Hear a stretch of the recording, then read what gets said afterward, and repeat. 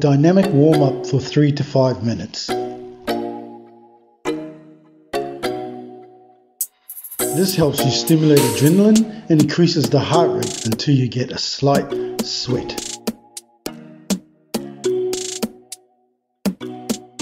Create movement to increase agility.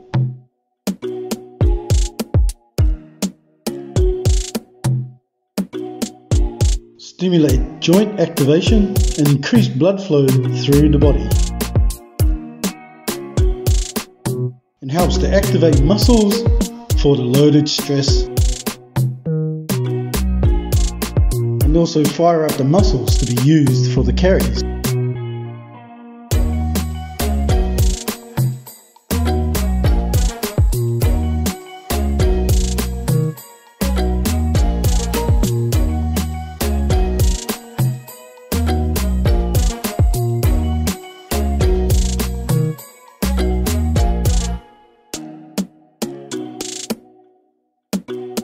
Again, the dynamic warm up prepares your body for the loaded carry.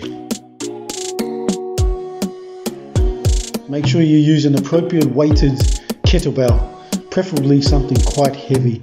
And don't forget your water. Enjoy the workout. See you at the other end.